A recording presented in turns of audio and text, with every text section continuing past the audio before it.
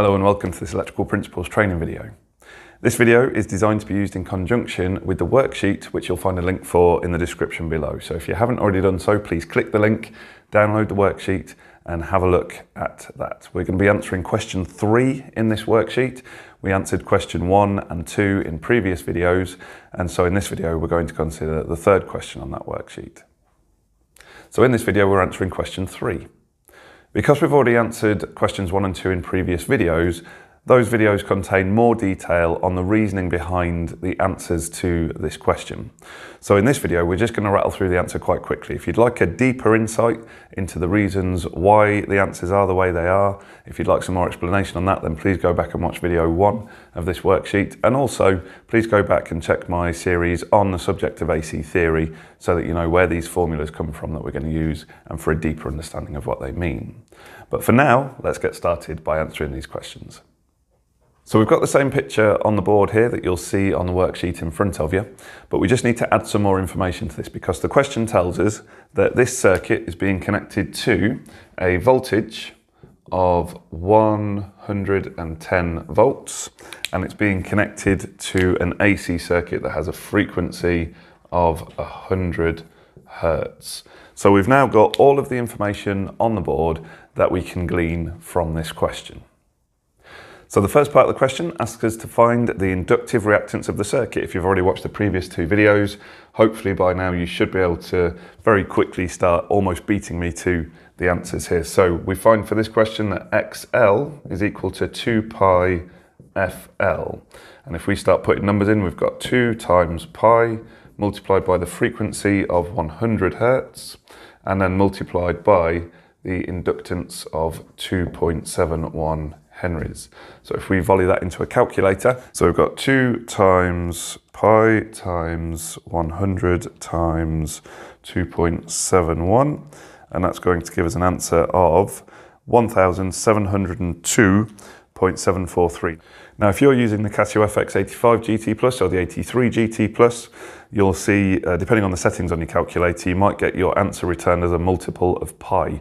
If you press the SD button, then that changes it back into uh, a number that is more recognizable uh, for you there. So the answer that's come out on here is 1,702 point, we'll go with point uh, as an answer there. And we can see here that's correct to two decimal places. And of course, we know that inductive reactance is measured in ohms. So that's the first part of the question answered. The second part of the question asks us to find the total impedance for the circuit. So again, hopefully by this stage, we'll know which formula it is that we're supposed to be using for this. We know that the impedance, the inductive reactance and the resistance in an AC circuit are related to each other via Pythagoras' theorem. So we know that Z, which is the impedance, will be equal to the square root of R squared plus XL squared. So again, it's just a matter of going through and putting the numbers in. So we've got the square root of uh, 1.5 kilo ohms. So bearing in mind that is 1,500 ohms, and that's going to be squared, added to the value for XL that we just calculated, 1,702.74 also squared. So we'll just extend that there. Once again, if we put that into the calculator, we get the square root of 1,500 squared plus 1,702.74 uh, squared, and that gives us a total answer of 2,269.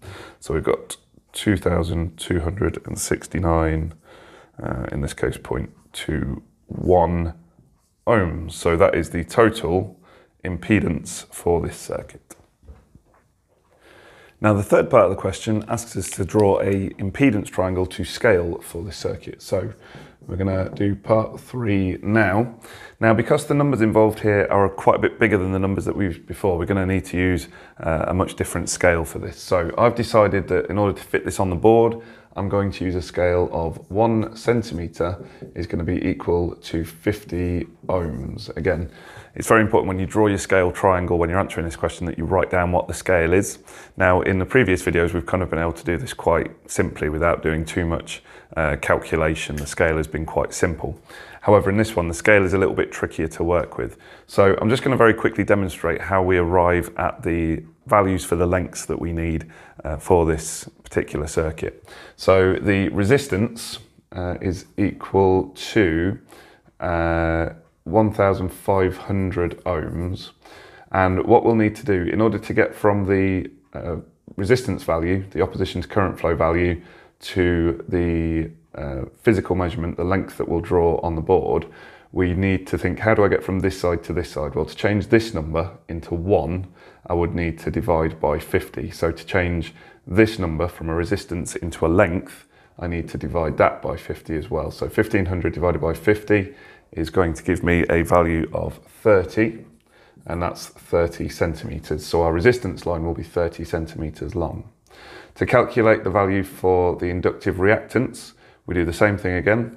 We'll do 1702. I'm not going to worry too much about the 0.74 because it's, it's going to make hardly any difference to the measurement that we'd put on the board at this point. Uh, so again, how do I get from my resistance measurement to my length measurement? Well, I take that number and I divide it by 50 to turn it into that side. So likewise, I divide by 50 and that's going to give me 34, just over 34 centimeters. I think it's 34.04 or something. So you can see that that even that two there is only making the slightest little bit of difference to the measurement. And then we'll calculate our impedance length, which is 2,269. Again, I'm not going to worry too much about the decimal points uh, for this because it's not going to make that much difference to my measurement. So 2,269 divided by 50 gives me 45.38 centimeters. So there you can see we've got all the values that we need uh, in order to be able to draw our triangle. And that's how we've ended up with that. Again, it doesn't hurt when you're doing your answer, uh, if you've got this kind of question in your exam, it doesn't hurt to actually show that calculation to show how you've arrived at lengths because it, it actually indicates a, a deep-seated understanding of what you're trying to achieve by this. So let's get this drawn on the board. We've got uh, my resistance line is going to be my horizontal line. So resistance is always horizontal and I'm going to draw this line 30 centimeters long making sure I try and leave enough space here so that I don't draw all over the writing that I've done. So we'll get that reasonably level and then draw a line that is 30 centimeters long from there to there. So that uh, represents my resistance. Remember, that's always the horizontal line. So resistance is uh, 1,500 ohms. And then I'm going to draw my inductive reactance line, and that is always vertical. And because it's inductive, I'm going to draw it pointing upwards. And again, uh, for other explanations on where that comes from, please check out uh, previous videos on Joe Robinson training. So if I now get my 90 degree mark here, right angle goes on the right, and we draw the line vertically. Bearing in mind that this is the uh, kind of the standard that I expect from my learners when I'm uh, delivering this material and when I'm marking this material, but make sure that you speak to your lecturer or your teacher uh, before you attempt to answer this question in an exam type scenario and make sure you present the information in the way that they want you to, to make sure that uh, uh you get maximum marks that you can for this question. So let's just draw a line now. So we're going to draw the inductive reactance, which is 34 centimetres long. And we draw that vertically there, so that goes straight up. So that line represents our inductive reactance. So that is the XL uh, is equal to 1702. Again, I can put the 0.74 on the end there. Doesn't make too much difference at this stage. And now what I should find is that if I measure the distance from there down to there, then that line should measure just over 45 centimeters long. So if the maths has worked out, this should be about 45 centimeters long. And there it is. Look at that. Absolutely beautiful. Absolutely beautiful. Look at that. Just over 45 centimeters. So that is absolutely wonderful. There you go. So that line there is the impedance line, which is 2,269. Again, I can volley on the decimal if I want this to be accurate. 0.21 centimeters. Right angle goes on the right, and it's always good practice just to mark that angle up theta, because we know from previous videos that that angle is really important to understanding power factor. So part four of the question asks us to calculate how much current will flow into the circuit. So we've got part four, and for part four, we're going to say that the current flowing into the circuit will be equal to, just using a little bit of Ohm's law, V over, but we've got to use the total opposition to current flow, so it's going to be V over Z instead of the R that we're used to seeing there. And then we're going to do uh, 110 divided by 2,269.21. So you can see that's going to come out at quite a small number. So we'll grab the calculator and we'll do that calculation. So we've got 110 divided by 2,269.21. So that's coming out at uh, a value of 0.048. And we'll say 0.0485 for that one. Now, again, looking at that number, uh, that's a perfectly acceptable answer. However, it can be quite helpful to put this into some kind of engineering notation. And on your Casio FX85 GT Plus and other calculators, there is a beautiful button here marked ENG. Doesn't stand for English, as many people take it to mean. It stands for engineering. And if you press that button, it automatically puts it into engineering notation for you. So it's changed it to 48 point, as you can see there, 475. But the key thing is on the end here, it's put it as times 10 to the minus 3.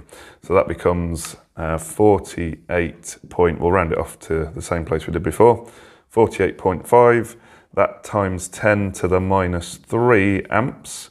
Uh, so that current is exactly the same as that current, but we would write that as 48.5, remove the times 10 to the minus 3, and replace that with a lowercase m for milli. So it's 48.5 milliamps.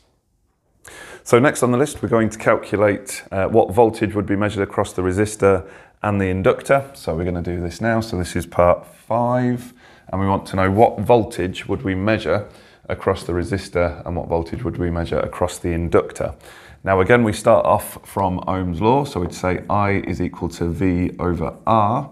And in this case, we then transpose that formula to make V the subject. So if we're dividing by R, if we times both sides by R, it cancels that out and we end up with V equals I times R.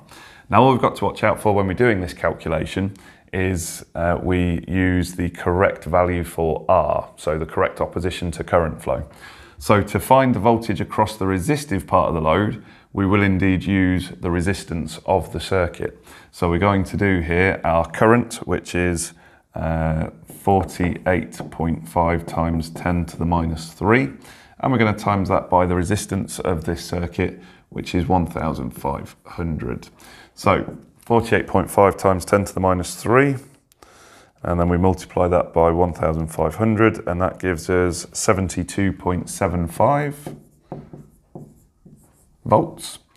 And then in order to calculate the voltage across the inductive part of the load, so we'll put an L in the subscript to indicate that, we would do I times. Now we're not going to use R this time because we're calculating the inductive voltage. We're going to times that by XL like that. So once again, the current from the circuit, we calculated that a moment ago. We've got 48.5 times 10 to the minus 3.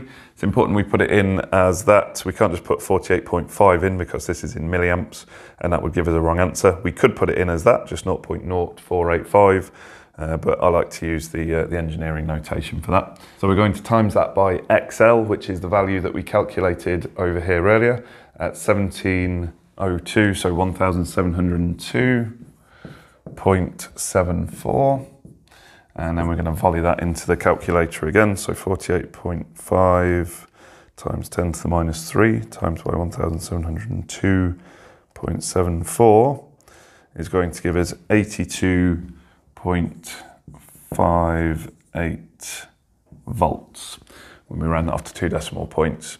Again, looking at this, this might look weird because that voltage added to that voltage does not give us the total voltage. But for an explanation on that, please see a different video in the AC Theory series. So we've calculated the voltages across the resistor and the inductor. And now part six of the question asks us to calculate what the power factor of the circuit will be.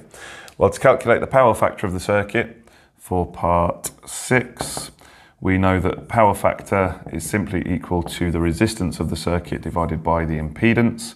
So we're going to do 1,500 divided by the impedance that we calculated earlier, which is 2269.21.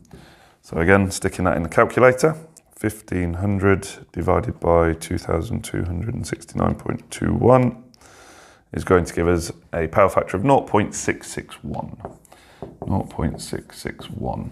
I'm in the habit of rounding power factor off to about three decimal points where it's appropriate uh, because three decimal points is normally a good, reasonable value when you're working with uh, trigonometry and we know that that is also a trigonometrical function. It's the cosine of the phase angle.